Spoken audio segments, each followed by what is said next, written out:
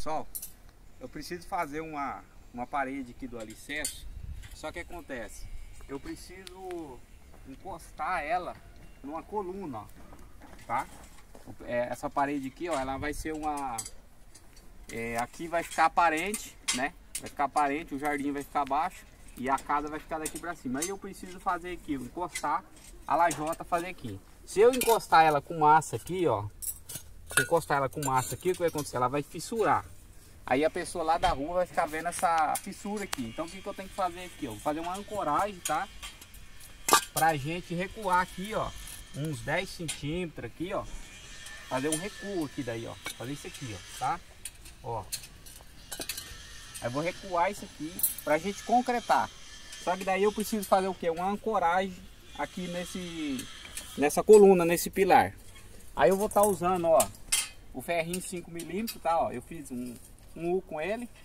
Aí 10 centímetros mais ou menos. E vou fazer isso aqui, ó. Ó, vou colocar ele lá dentro. Vou fazer isso aqui, que na hora que eu fazer meu concreto aqui, ó. Na hora que eu concretar aqui, eu vou colocar vários dele, tá? Ó. Aqui eu concretar essa, esse espaço aqui, o concreto vai prender nessas, nesses ferros aqui e não vai delatar aqui, onde que eu vou estar tá fazendo a união. Só que para mim colocar esses ferros aqui, eu não posso colocar ele solto. Colocar ele solto aqui, né? Ou bater, só furar e bater. Então a gente vai fazer uma cola, é, vai colar, vai fazer uma ancoragem, tá? Com eles, ó. Eu vou estar tá usando essa cola aqui, ó, pessoal. Que é uma cola bicomponente, tá? Ó, da Vedacity compõe de adesivo, tá? Ela vem duas, duas latinhas, só que as medidas é iguais. Aí vamos abrir, ó, eu vou estar tá usando aqui uma latinha de, de milho em conserva vazia e uma colher, ó, tá? Colher aí que você usa na sua, na sua casa.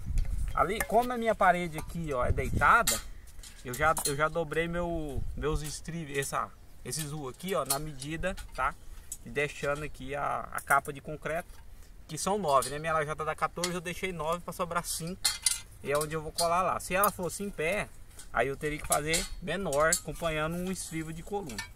Então vamos abrir aqui, galera, ó.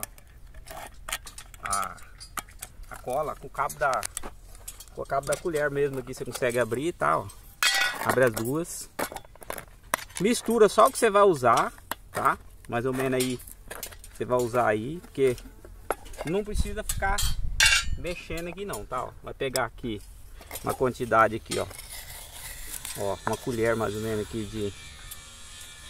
Vamos colocar certinho aqui para não ficar, ó. Vamos colocar uma colher dessa, né, ó. Agora o que, que eu tenho que fazer aqui, ó. Eu vou ter que...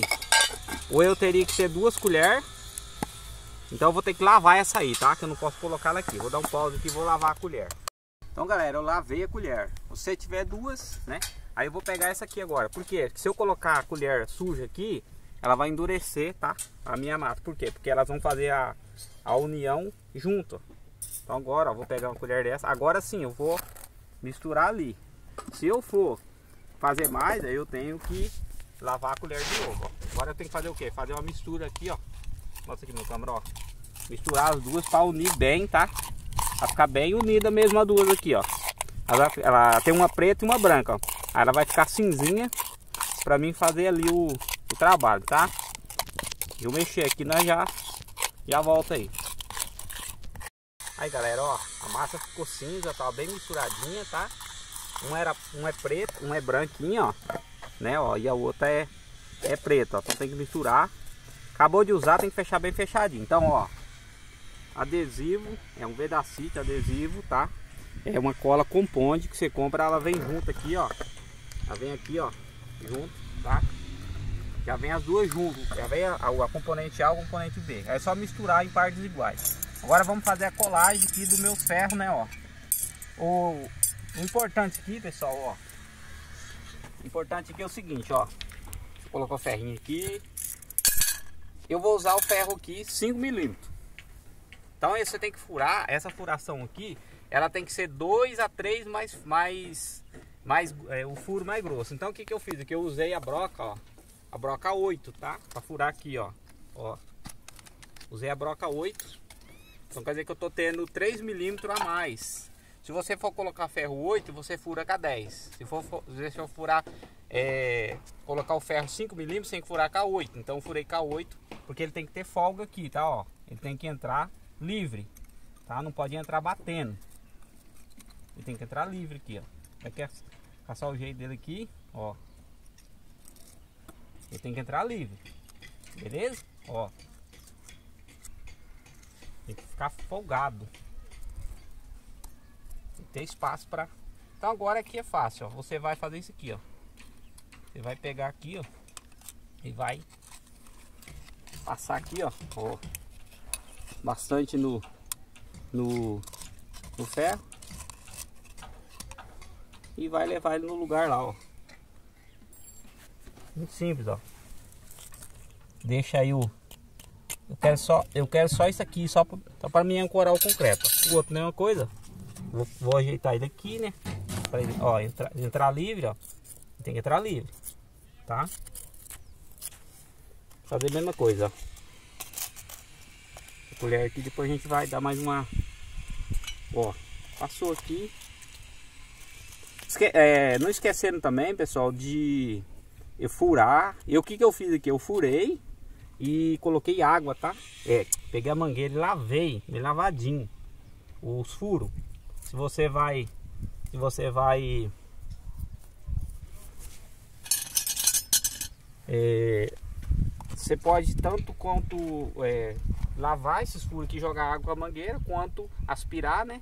Mas importante, eu, eu prefiro jogar água, tá? Que daí eu tiro, eu lavo lá dentro, bem lavadinho, né? Então é melhor. Ó, faz isso aqui já era, ó. Não precisa é, mais que isso aqui, ó. Tá? Ó. Tem um que ficou um pouquinho mais largo, não pode, mas tem que ficar trabalhando livre aqui, ó. Ó. Pra ficar, ó, tem, ele tem que entrar livre, tá? Não pode entrar imprensado, não. Ó, só isso aqui, ó. Passou aqui. Ó. Ó, cachou lá dentro vai fazer uma ancoragem aqui para para o meu concreto ficar livre ó. Eu furei com a broca 8 e tô colocando ferro 5 milímetros tá? Que é só para travar. Esfregou ali ó. Pode deixar ele livre aqui tá? Que ele vai que ele vai vai colar aqui que depois nem nem um caminhão puxa esse trem aqui. Ó. Ó. Tá vendo ó? Livre né? Ele tem que ficar assim ó. Para ficar bem filezinho tem que ficar livre ó. ele vai lá dentro prende bem prendidinho. Vamos colocar o último aqui. Ó. Ver se ele tá. Aquela vez o furo ficou um pouquinho. Eu já lavei aqui tá? Já enchi d'água, bastante água, lavei. Ó. Passa bastante no ferro aí, ó. Na hora que você entrar ali, que você encaixar, ó. Então é isso aí, galera, ó. Tá prontinho, tá, ó. O que que vai acontecer aqui depois, ó. Agora é isso aí, você não precisa fazer mais nada não, deixa do jeito que tá aí. Aí eu vou fazer isso aqui, ó. Vou colocar aqui a minha a minha parede aqui, ó. Depois, tá vendo? Aí eu vou deixar as coluninhas aqui, ó. Aí vou concretar isso aqui. Então essa parede aqui ela vai ficar travada na, na, na no pilar. Isso aqui vai servir para você fazer parede, tá? Você tem uma casa aí e você quer fazer uma parede, você faz isso aí. Você fura lá na coluna, deixa uma coluninha lá de 8, 10 centímetros. Fez isso aqui, vai fazer travamento. Eu já fiz muito isso aí, ó. Beleza? Então é isso aí, galera, ó. A dica foi essa aí, ó, fazendo uma ancoragem de ferro para você fazer uma coluninha presa no concreto, tá? Aí se você quiser descer umas barrinhas de ferro aqui também, mas do jeito que tá aqui, essa, esse espaço aqui dá tranquilo, beleza? Gostou? Deixa o like, compartilha o vídeo e até o próximo vídeo se Deus quiser. Tchau, tchau.